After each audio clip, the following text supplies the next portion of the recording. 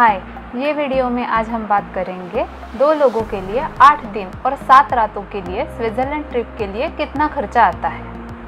तो सबसे पहले बात करते हैं फ़्लाइट्स के बारे में। अगर हम लोग अ, किसी भी फ़्लाइट कंपेयरिंग साइट पे देखेंगे या फिर गूगल पे भी सर्च करेंगे तब हम लोग को स्विट्ज़रलैंड के रिटर्न फ़्लाइट में कितना खर्चा आता है इसके बारे में पता चलेगा।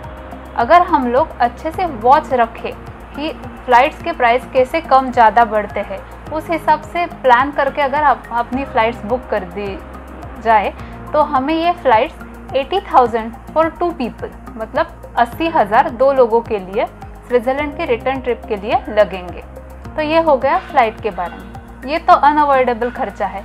इसमें हम लोग कोई भी बचत नहीं कर सकते। उसके बाद का खर्चा है, वो है वीज़ा का खर्चा। वीज़ा के लिए अगर आप बिना किसी एजेंट के मतलब खुद से ही अगर वीज़ा के लिए अप्लाई करते हैं तो आपको 12 से तेरह हज़ार में आपका दो लोगों के लिए वीज़ा हो जाएगा। इसके बाद जो खर्चा आता है वो होता है रहने या फिर अ, अपना जो भी हॉस्टल या फिर होटल या फिर एयर है उसका खर्चा। अगर बेसिक होटल या फिर एयर में अगर हम लोग बुकिंग करते हैं तो हमें अगर बहुत ही जल्दी बुक करते हैं हम लोग अपना होटल या फिर एयर तो पाँच से छः हज़ार से हमें अपना एयर मिल जाता है। एयर की जो भी प्राइसिंग रहती है, वो उसके लोकेशन के हिसाब से उसकी प्राइसिंग रहती है। फिर भी अगर सस्ते से बजट में से अगर हम लोग बात करते हैं तो छः हज़ार प्रतिदिन मतलब अगर सात रात के लिए मतलब सात दिनों के लिए approximately forty to fifty thousand हमें दो लोगों के लिए खर्चा आता है। मतलब रहने का फोर्टी टू फिफ्टी थाउज़ेंड हम लोग हिसाब के लिए फिफ्टी थाउज़ेंड पकड़ के चलते हैं। रहने का खर्चा फिफ्टी थाउज़ेंड तो हो गया फ़्लाइट का एट्टी रहने का फिफ्टी वीज़ा का ट्वेल्व टू थर्टीन उसके बाद वीज़ा के लिए हमें इंश्योरेंस की ज़रूरत पड़ती है। दो लोगों के लिए अगर हम लोग इंश्योरेंस लेते हैं तो कम से कम हज़ार रुपये लगते हैं। दो लोगों के लिए हज़ार। लेकिन अगर आप अच्छा मतलब जिसमें अच्छा कवरेज मिलेगा, ऐसा इंश्योरेंस लेते हैं तो आपको अराउंड 1.5 के मतलब डेढ़ हज़ार रुपये दोनों के वीज़ा सॉरी इंश्योरेंस के लिए लगेगा। अब हो, अब बात करते हैं स्विस ट्रैवल पास के बारे में। स्विस ट्रैवल पास जिसके बारे में मैं पहले भी बता चुकी हूँ कि स्विस ट्रैवल पास है, एक ऐसा पास है जिससे आप ट्रेन बस ट्राम वहाँ की बोट राइड्स इसमें घूम सकते हैं। तो इस पास का जो वैल्यू है, वो आठ दिनों के वैल्यू में बता रही हूँ। आठ दिनों के लिए, दो लोगों के लिए around sixty to sixty one thousand rupees हमें लगता है। आई नो ये वैल्यू बहुत बड़ी है। पर इसमें आप कभी भी ये आठ दिनों में रेलवे में ट्रैवल कर सकते हैं बस में ट्रैवल कर सकते हैं। अगर आपका होटल या फिर एयर का लोकेशन दूर है तो आपको तो बस लगेगी। तो ये सब आपके पास में इंक्लूड हो जाता है। तो ये पास में भी बहुत सारे ऑप्शंस हैं। तीन दिनों का पास आता है, चार दिनों का पास आता है, आठ दिनों का आता है, पंद्रह दिनों का आता है। हर मतलब दिनों के हिसाब से उनके प्राइस में कम या ज़्यादा उतार चढ़ाव है। तो वो आप उनके ऑफिशियल साइट पे देख सकते हैं। अभी ये पास के बारे में एक टिप बताती हूँ। आप वहाँ जाके ही पास लीजिए वरना यहाँ पे एक्स्ट्रा पैसे देने पड़ते हैं। ट्रांसपोर्ट और वो यहाँ तक आएगा इसके लिए। अ, तो अगर आपको इतना पैसा नहीं स्पेंड करना है लगभग हमारा जो भी ट्रिप का है उसमें से अगर अगर हम लोग साठ हज़ार स्पेंड कर रहे हैं उतना पैसा नहीं स्पेंड करना है तो आप कार भी रेंट कर सकते हैं। हम जैसे लोगों के लिए ट्रैवल पास ज़्यादा कन्वीनियंट है। लेकिन जो इंटरनेशनली ड्राइव कर सकते हैं या फिर उनको कॉन्फिडेंस है उतना तो आप कार रेंट कर सकते हैं वो बहुत ही सस्ता जाता है। आपको दिन में four thousand rupees car rental में लगते हैं। तो ये हो, बात हो गई वहाँ के ट्रैवलिंग की। अब आगे चल के बात करते हैं वहाँ के जो फ़ेमस ट्रैवल पॉइंट्स है वहाँ की। युंगफ्राउ के बारे में आपने सुना होगा। अगर आप युंगफ्राउ में जाते हैं जहाँ पे यूरोप में से सबसे ऊँची स्थित रेलवे है। वहाँ पे जाते हैं तो दो लोगों के लिए। अगर आपके पास स्विस ट्रैवल पास हो तो आपको दो लोगों के लिए बीस हज़ार रुपये स्पेंड करने पड़ेंगे। उसके बाद बात करते हैं Titlis D D L J का वहाँ बड़ा एक पोस्टर है। अगर आप जा रहे हैं तो वहाँ तो फ़ोटो खिंचाएँगे ही।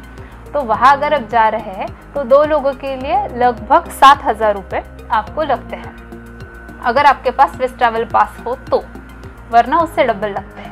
तो अगर ये हमारा जो अनअवॉइडेबल खर्चा है वो अगर हम लोग देखते हैं अनअवॉइडेबल मतलब आप, आप स्विस ट्रैवल पास या फिर कार वो अपने हिसाब से देख सकते हैं हॉस्टल्स या फिर होटल अपने हिसाब से देख सकते हैं। लेकिन अगर जनरली बात कर देंगे हम लोग कि अगर एक कपल जा रहा है तो उनके लिए मिनिमम खर्चा कितना आएगा? यानी 80 plus 13 plus 1.5 plus 60 plus 50 plus 7 plus 20 ये सब हिसाब मिला जुला के 2.3 लाख हम लोग को लगता है। ये अनअवॉइडेबल खर्चा है। मतलब इतना तो अराउंड आपका लगेगा ही। उसके बाद अब बात करेंगे ये आठ दिनों का खर्चा है इसके बाद हम लोग बात करते हैं चॉकलेट्स के बारे में। चॉकलेट्स के बारे में मैं पहले भी बता चुकी हूँ कि कहाँ सस्ता, कहाँ महँगा मिलता है। चॉकलेट आपको स्विट्ज़रलैंड में इतना बड़ा बार लगभग 35 टू 40 रुपीज़ में मिल जाता है। हम लोग ये 2.3 को छोड़ के हम लोग खाना खाते हैं। कभी कभार हमें आ, कभी भी भूख लग सकती है कुछ चॉकलेट्स लेता है कुछ शॉपिंग करने रहती है तो वो भी खर्चा हमें ध्यान में रखना चाहिए। तो अभी ये सब हमारा खर्चा है। तो ये आप पकड़ के चलिए कि अगर आप दो लोग जा रहे हैं तो आपको कम से कम ढाई लाख खर्चा तो आएगा क्योंकि इसमें मैंने जो बीस हज़ार बचते, उसमें थोड़े से चॉकलेट कभी कभार खाना, ये भी पकड़ के चली हूँ। तो हम लोग को ढाई लाख तो लगेंगे। अभी इसमें भी मैं एक ब्रेकेज बताती हूँ। आप कितना पैसा स्विट्ज़रलैंड के लिए लेके जाना चाहिए? वो क्या रहता है? हम लोग प्लेन के टिकट्स यहाँ से ही खरीदते हैं। एयर होटल का बुकिंग भी यहाँ से करते हैं।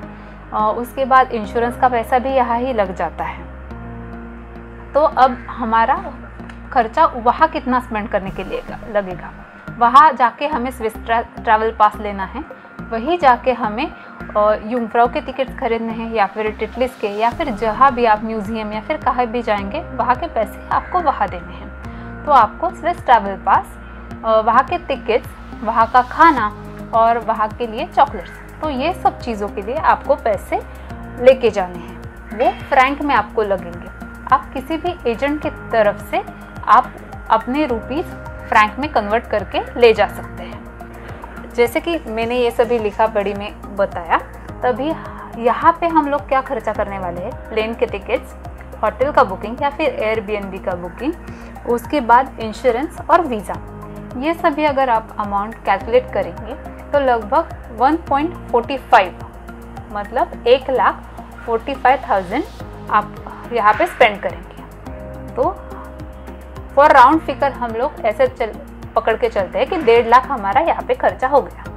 अभी फ्रैंक कितने लेके जाना है? अभी हम लोग को ढाई लाख खर्चा आने वाला है तो बचे हुए पैसे के फ्रैंक लेके जाएँगे। ऐसा तो मत करना, क्योंकि हमें कभी भी पैसे लग सकते हैं। और वहाँ जाने के बाद हमारे पास पैसे ना हो, ऐसा ना हो। मुझे मालूम है सबके पास आजकल क्रेडिट कार्ड रहता है। वहाँ पर वहाँ के फिर कन्वर्सेशन चार्जेस ट्रांजैक्शन चार्जेस वो पड़ते हैं, उससे बेटर आप थोड़े एक्स्ट्रा पैसे लेके जाओ। हम लोग, हमारे ट्रैवलिंग के लिए 2000 फ्रैंक लेके गए थे। मतलब नियरली ढाई सॉरी डेढ़ लाख फ्रैंक रुपीज़ के फ्रैंक लेके गए थे। मतलब डेढ़ लाख हम लोग ने यहाँ स्पेंड किए बुकिंग्स और इसके साथ, और डेढ़ लाख फ्रैंक के लिए स्पेंड किया फ्रैंक आए दो हज़ार, लेकिन हमारे रुपए डेढ़ लाख चले गए। तो हमारा टोटल खर्चा जब हम लोग जा रहे थे तभी तीन लाख हो गया। पर जब हम लोग वापस घूम के आए, तब हमारे कुछ फ्रैंक बचे थे। वो कितने बचे थे? तो लगभग पचास हज़ार। मतलब हम लोग ने तीन हज़ार तो टोटल खर्चा हुआ था, लेकिन हमारे पचास हज़ार फिर से वापस आ गए। तो अगर हम लोग देखा जाए तो ढाई लाख में हमारी ट्रिप हो जाती है। फ्रैंक अपने हिसाब से लेके जाइए। हम लोग कितना खर्चा करने वाले हैं, कहाँ कहाँ घूमने वाले हैं, क्या खाने वाले हैं।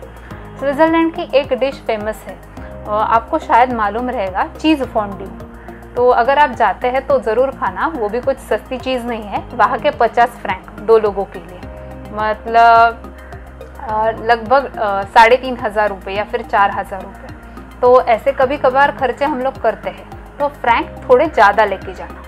तो फ्रैंक हम लोग 2000 लेके गए थे आप अपने हिसाब से लेके जाना लेकिन अगर आप पूरी तरह से ये इसको स्टडी करेंगे तो आपको ध्यान में आ जाएगा कि ढाई लाख में दो लोगों की ट्रिप मुमकिन हो सकती है। आई होप ये सभी हमारा लेखा जोखा है, स्विट्ज़रलैंड के ट्रिप का। आई होप हमारा ये जो एक्सपीरियंस है, वो आपके कुछ काम आ जाए। आपको अगर ऐसे ही इंफॉर्मेशन पसंद है, या फिर सुनने को अच्छी लगेगी तो आप ये चैनल को सब्सक्राइब कीजिए। हमारे वीडियो को लाइक कीजिए। और और कुछ सवाल हो या फिर कुछ सजेशंस हो तो कमेंट बॉक्स में लिख के दीजिए। Thank you